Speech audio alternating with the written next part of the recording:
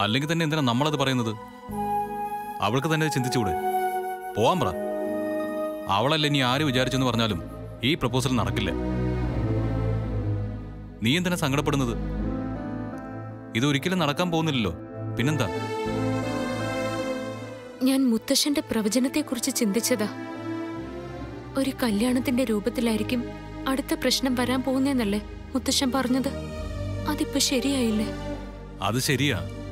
പക്ഷെ നമ്മളത് സമ്മതിക്കാൻ പോകുന്നില്ലല്ലോ. ഗൗരി വിവരം ആദ്യം വന്ന് പറഞ്ഞത് അച്ഛനോടോ അമ്മയോടോ? അവർ സമ്മതിച്ചില്ല. അപ്പൊ തന്നെ അവൾ ഈ നീക്കം ഉപേക്ഷിക്കേണ്ടതായിരുന്നു. പക്ഷെ ചെയ്തില്ല. എന്നെ വന്നു കണ്ടു പറഞ്ഞു. ഞാനും സമ്മതിച്ചില്ല. എന്നിട്ടും അവൾ പിന്തിരിഞ്ഞില്ല. ഏട്ടനോട് പറയാൻ പറഞ്ഞു. എന്തിനാ അവളിങ്ങനെ വാശി കാണിക്കുന്നത്? നമ്മളെ സമ്മതിക്കില്ലെന്ന് അറിഞ്ഞിട്ടും അവൾ എന്തുകൊണ്ട് പിന്മാറാൻ തയ്യാറാവാതിരുന്നത്? അതവളുടെ വിവരക്കേട്. എനിക്കങ്ങനെ തോന്നില്ല ഏട്ടാ. എന്തോ അണിയറയിൽ ഒരുങ്ങുന്നുണ്ട്. അല്ലെങ്കിൽ ഇതിങ്ങനെ വരില്ല?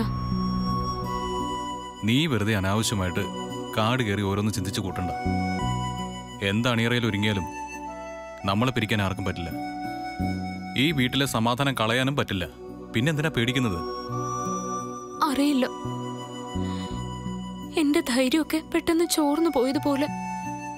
ഒരിക്കലും നമ്മൾ ആരും ചിന്തിക്കാത്ത വഴിയിലൂടെയാ വേദ ചിന്തിക്കുന്നത്. അത് ഓർക്കുമ്പോഴാ പേടി കൂടുന്നത്. ഇത്രയായിട്ടും അവൾ അവളുടെ പക അവസാനിപ്പിക്കാൻ തയ്യാറായില്ലല്ലോ.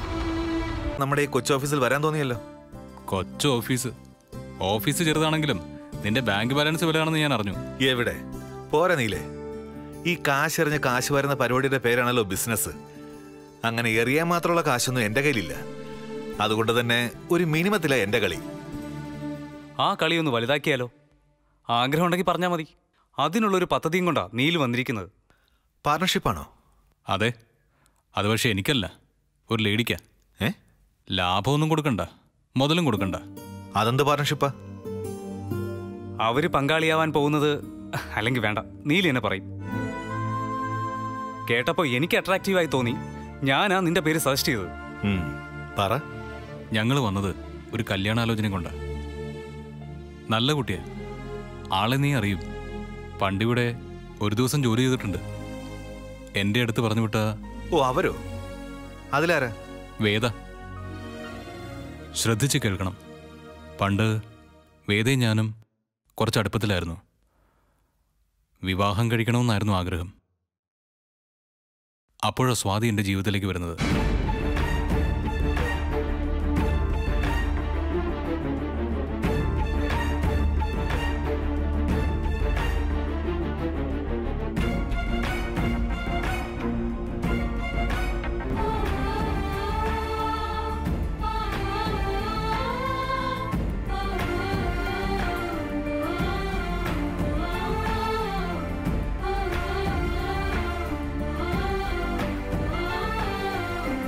നിശ്ചയിച്ചിരുന്ന കല്യാണം മുടങ്ങിയതോടെ അവളൊരു പ്രതിസന്ധിയിലായി.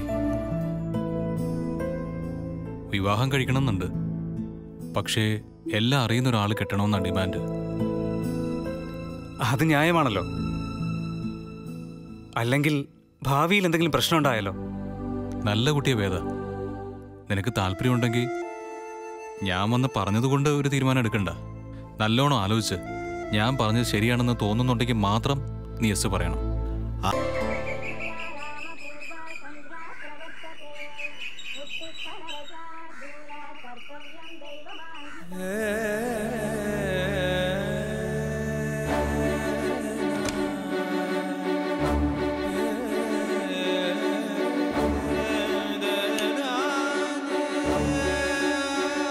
ഏട്ടാ? ഏട്ടാ? അയ്യോ കണ്ണു തുറക്കല്ലേ കണ്ണു തുറക്കല്ലേ? കണി കാണണ്ടേ? ഇന്ന് വിഷു അല്ലേ? പതുക്കെ എണീറ്റ്.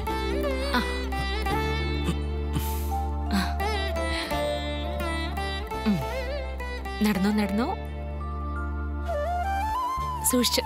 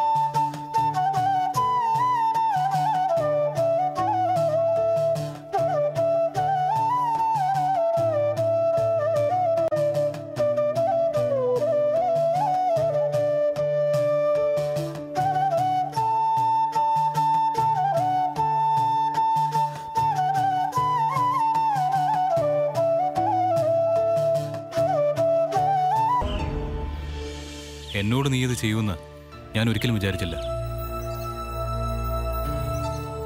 എടാ എല്ലാ കഥകളും ഞാൻ നിന്നോട് പറഞ്ഞതല്ലേ? എന്നിട്ടും നീ ചതിച്ചല്ലോ. ഒന്നും എന്റെ തെറ്റല്ല നീലേ. എന്റെ അമ്മയുടെ ആരൊക്കെയോ എന്തൊക്കെയോ ഏഷ്യകൾ പറഞ്ഞു കൊടുത്തു.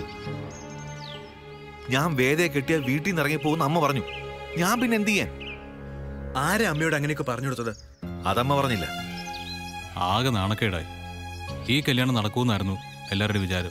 അതും മുടങ്ങി. വേറെ നോക്കാലോ. ബന്ധുക്കളൊന്നും അധികം ഇല്ലാത്ത ആരെങ്കിലും നോക്ക്. അല്ലെങ്കിൽ മാട്രിമോണിയിൽ പരസ്യം കൊടുക്ക്. എന്ത് ചെയ്യണമെന്ന് നീ പറഞ്ഞു തരേണ്ട ആവശ്യമില്ല. എനിക്കറിയാം എന്താ വേണ്ടത് അതിന് നീ എന്തിനാ എന്നോട് ദേഷ്യപ്പെടുന്നത്? ഓരോന്നും ചെയ്യുമ്പോൾ ആലോചിക്കണമായിരുന്നു. ഞാൻ എന്ത് ചെയ്തെന്നാ?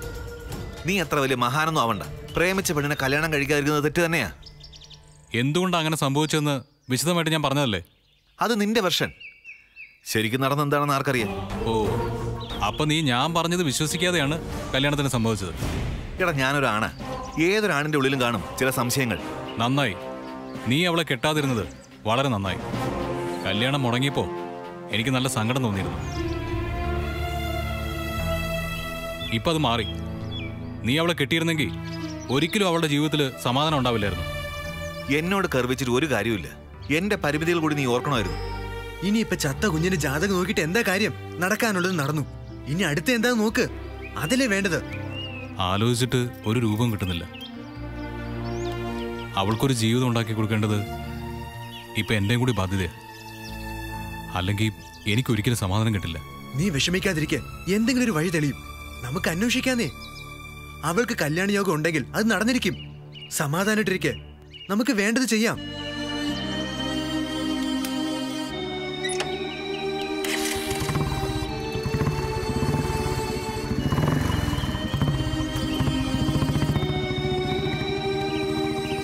അവനെ പറഞ്ഞ് മനസ്സിലാക്ക്.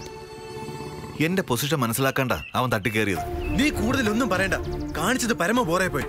ഇങ്ങനെ എന്തെങ്കിലും ഉണ്ടായിരുന്നെങ്കിൽ ഫോൺ വിളിച്ച് പറയണമായിരുന്നു. അത് ചെയ്യാതെ നീ കൂടുതൽ ന്യായമൊന്നും പറയണ്ട. നാണം ഇല്ലടാ നിനക്ക്.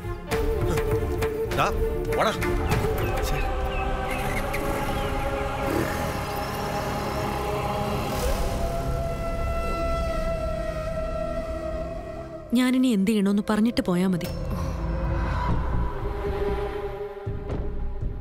നിങ്ങൾ പറഞ്ഞ എല്ലാ നാടകങ്ങൾക്കും ഞാൻ കൂട്ടുനിന്നു. പക്ഷെ ഒന്നും നടന്നില്ല. എനിക്കൊരു ജീവിതം വേണം. അതിന് ഞാൻ എന്താ ചെയ്യേണ്ടത്? അത് അതിന് എന്താ?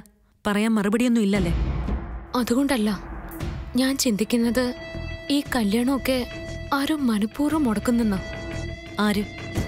ആരാണോ ആദ്യത്തെ ചെറുക്കിന് ഫോട്ടോ അയച്ചു കൊടുത്തത്? അയാൾ തന്നെ.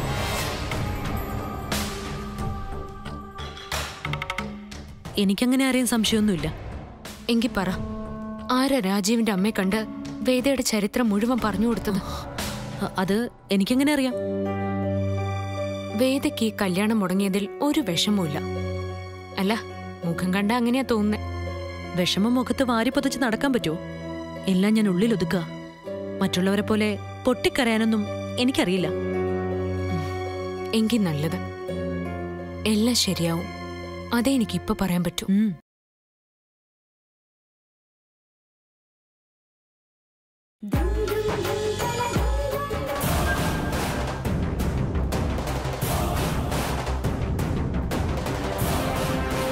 മേഡം